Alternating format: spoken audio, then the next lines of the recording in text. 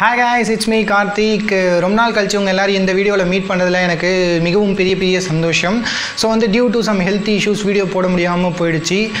என்னடா பெரிய health issue அப்படின்னு சொல்லி திமிரா கேட்டாலும் சரி இல்லை என் மேலே அக்கறை இருக்க ஒரு சில சப்ஸ்கிரைபர் ஐயோ ஹெல்த் இஷ்யூவா என்னப்பாச்சு அப்படின்னு சொல்லிட்டு ஒரு பாசமாக கேட்டாலும் சரி அவங்க எல்லாருக்கும் பதில் சொல்லணும் அப்படின்னா வந்து சிக்கன் பாக்ஸ் இங்கிலீஷில் சொன்னால் சிக்கன் பாக்ஸ் தமிழில் வந்து அம்மை போட்டுருச்சு. ஸோ அதனால தான் இந்த தழும்புகள்லாம்.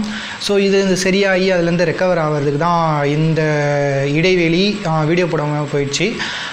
ஸோ இனிமேல் வந்து சேனலில் தொடர்ந்து இல்லை தொடர்ந்து இல்லைனா கூட நீங்கள் வீடியோவை பார்க்கலாம்.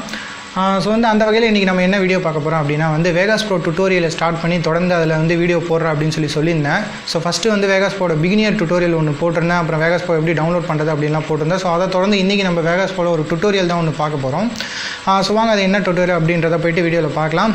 போலாமா? கோ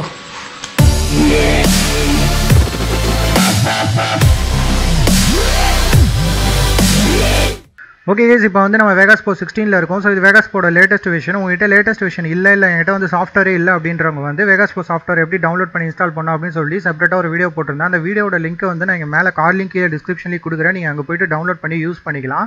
ஸோ வந்து இந்த டுட்டோரியலுக்குள்ளே போகிறதுக்கு முன்னாடி இது வரைக்கும் நீங்கள் வேகாஸ் போ பற்றி ஒன்றுமே தெரியாது. நான் இது வரைக்கும் எந்த டுட்டோரியலும் பார்த்ததில்ல. இதெல்லாம் என்னோட ஃபஸ்ட் டுட்டோரியல்னா ப்ளீஸ் வந்து வேகாஸ் போட பிகினியர் டுட்டோரியல் ஒன்று வந்து நான் இதுக்கு முன்னாடியே ஒன்று போட்டிருந்தேன். அதை பார்த்துட்டு அதுக்கப்புறமா நீங்கள் இந்த வீடியோக்கு வந்து இந்த டுட்டோரியலை பார்த்தீங்கன்னா உங்களுக்கு ஃபாலோ பண்ணுறதுக்கு ஈஸியாக இருக்கும். ஸோ இப்போ வந்து இதில் நம்ம பேனன் கிராப் தான் பார்க்க போகிறோம் பேனன் கிராப்னால என்ன யூஸ் அதை எப்படி யூஸ் பண்ணுறது அப்படின்னு சொல்லிட்டு நம்ம பார்ப்போம். ஃபஸ்ட்டு பேனன் கிராப் வந்து எங்கே இருக்கும் அப்படின்னா வந்து இதுதான் டைம் லைன் ஸோ இந்த டைம் லைனில் இதுதான் வீடியோ ட்ராக்கு ஸோ இந்த ட்ராக்கோட எண்டில் போய் பார்த்தீங்கன்னா அந்த இடத்துல கிராப் மாதிரி ஒரு சிம்பிள் இருக்கும். அதை கிளிக் பண்ணிங்கன்னா உங்களுக்கு இப்படி எக்ஸ்ட்ராவாக ஒரு டேப் ஒன்று ஓப்பன் ஆகும். இந்த டேபை உங்களுக்கு எப்படி வேணுமோ அந்த சைஸ்க்கு நீங்கள் ரீசைஸ் பண்ணிவிட்டு ஏதோ ஒரு இடத்துல நீங்கள் இப்படி வச்சிடணும்.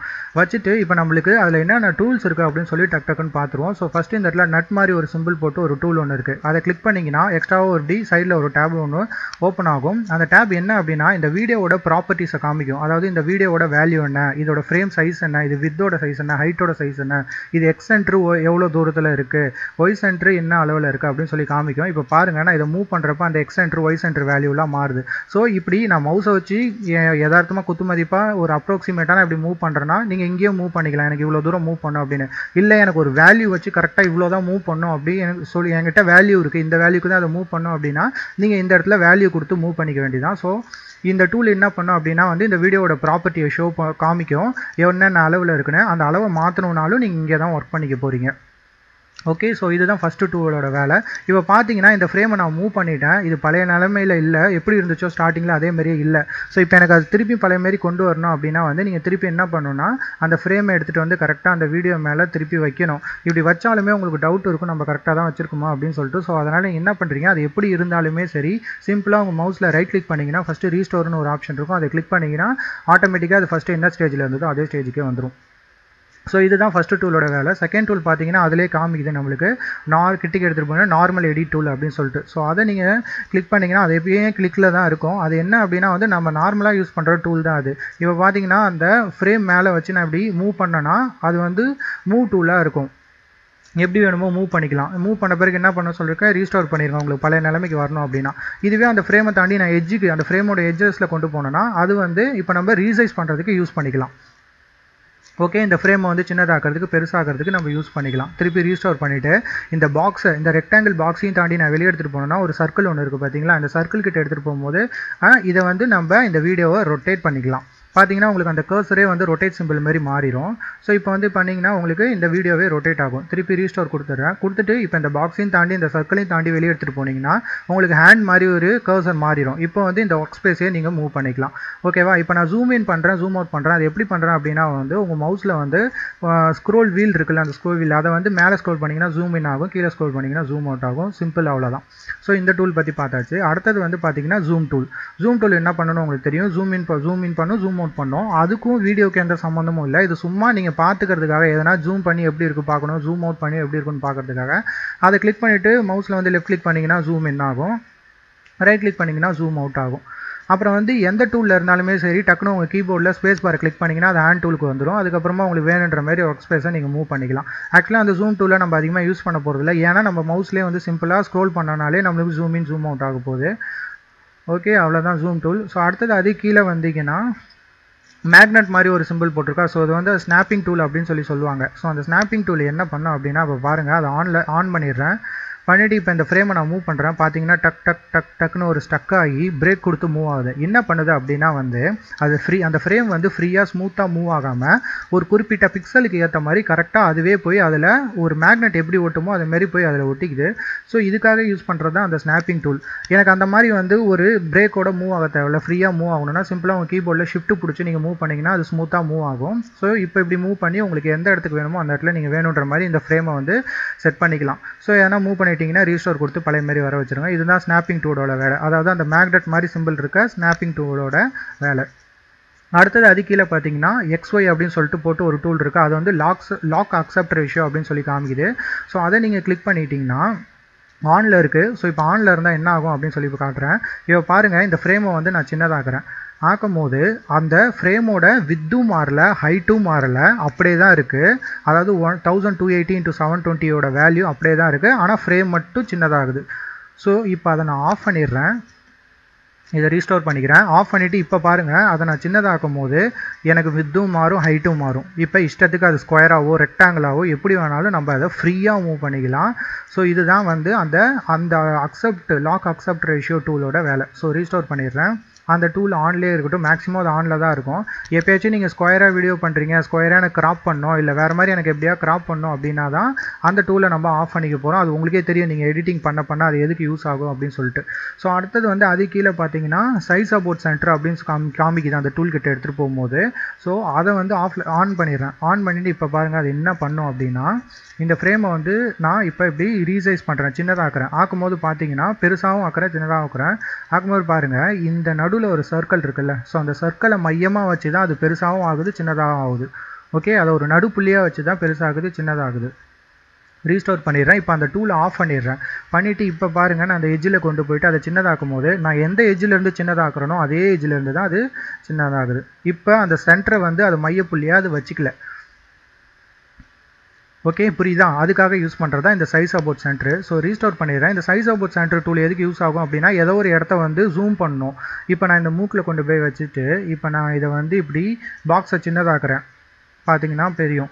சின்னதாக்கும் போது இப்போ பாருங்கள் சாஃப்ட்வேரோட சாஃப்ட்வேரோட மெயின் ப்ரிவியூவில் பாருங்கள் பார்த்தீங்கன்னா தெரியும் நான் எவ்வளோக்கு எவ்வளோ கிட்டிக்கு எடுத்துகிட்டு போகிறேனோ அவ்வளோக்கு எவ்வளோ அது ஜூம் ஆகுது. இந்த மாதிரி ஏதோ ஒரு இடத்த குறிப்பிட்டு நம்ம சென்டராக வச்சுட்டு உங்களுக்கு ஜூம் இன் பண்ணணும் அப்படின்னா வந்து இந்த டூல் நம்மளுக்கு யூஸ் ஆகும்.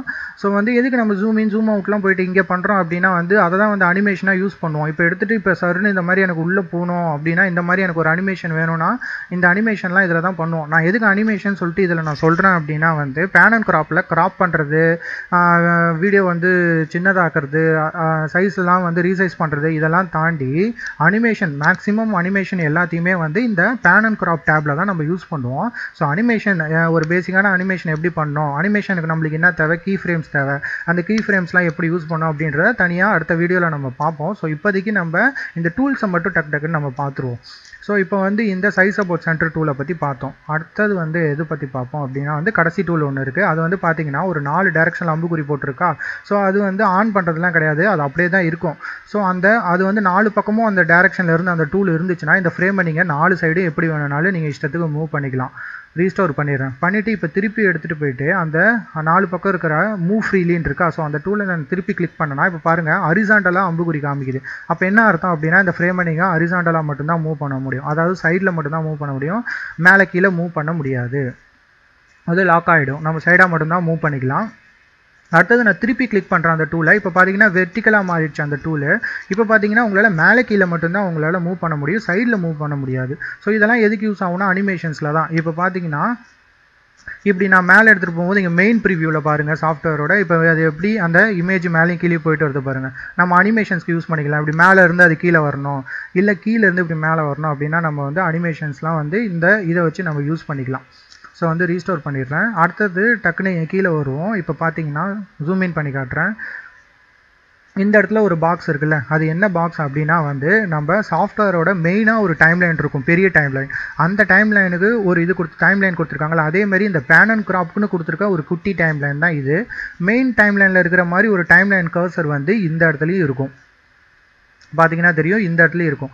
ஸோ அதை நீங்கள் இங்கே மூவ் பண்ணிங்கன்னா இந்த இடத்துல மெயின் டைம் லைன்லேயும் அது வந்து மூவ் ஆகும். பாருங்கள் உங்களுக்கு தெரியும். நான் இங்கே மூவ் பண்ணுறேன் பாருங்கள் அங்கேயும் மூவ் ஆகும்.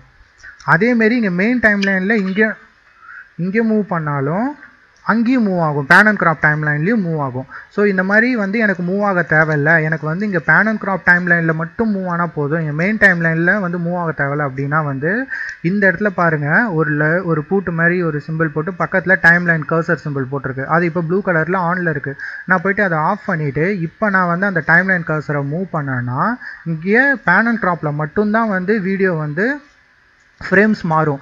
மெயின் டைம் லைனில் வந்து மாறாது. ஸோ அதுமாரி வந்து அங்கே மாறாமல் இங்கே மட்டும் மாறணும்னா இதை ஆஃபும் ஆனும் பண்ணி மாற்றிக்க வேண்டியதான் ஸோ வந்து இது வரைக்கும் நம்ம பார்த்துப்போம்.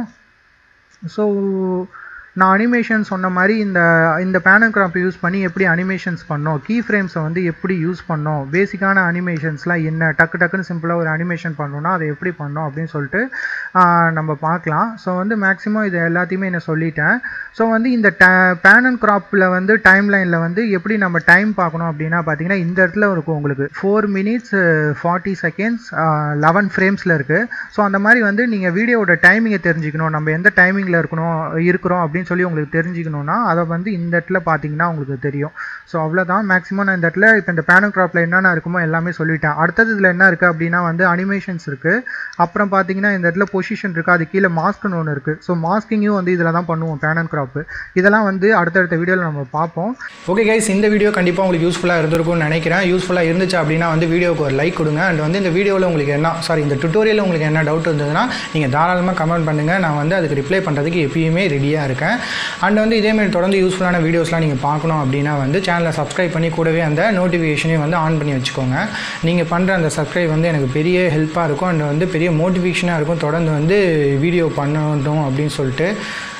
ஸோ நெக்ஸ்ட்டு வந்து நான் மேக்ஸிமம் டுட்டோரியலில் வந்து வேகமாக பேச தான் ட்ரை பண்ணுறேன் பிகாஸ் வந்து டுட்டோரியலோட லென்த் வந்து அதிகமாக போயிடக்கூடாது அப்படின்றதுக்கு. என்ன தான் அப்படி பேசினாலுமே அந்த வீடியோ வந்து எப்படியோ ஒரு பத்து நிமிஷம் இல்லை பதினஞ்சு நிமிஷம் போயிடுது. பட் அவ்வளோ நேரம் போனாலுமே அதில் வந்து முழுக்க வந்து உங்களுக்கு யூஸ்ஃபுல்லான இன்ஃபர்மேஷன்ஸ் தான் இருக்கும். நான் தேவையில்லாமல் எதுலேயுமே பேசியிருக்க மாட்டேன். அதில் என்ன விஷயம் அப்படின்னு சொல்லிட்டு உங்களுக்கு தெளிவாக புரிய வைக்கணுன்றதுக்காக தான் அந்த லென்த் வருது. ஸோ வந்து எவ்வளோ நேரம் இருந்தாலும் ப்ளீஸ் வந்து கொஞ்சம் டைம் எடுத்துகிட்டு பொறுமையாக பாருங்கள் நீங்கள் வந்து இந்த வீடியோக்காக செலவழிக்கிற நேரம் கண்டிப்பாக நீங்கள் வந்து ஃபுல்லாகவே கற்றுப்பீங்க உங்களுக்கு யூஸ்ஃபுல்லாக தான் இருக்கும் அப்படின்னு சொல்லி கேரண்டியாக சொல்லலாம். ஸோ நெக்ஸ்ட் வீடியோவில் உங்களை மீட் பண்ண வரைக்கும் மீட் வந்து டாட்டா பை பை சிஎஸ் சொல்லிட்டு நான் கிளம்புறேன். It's me Karthik bye It's me.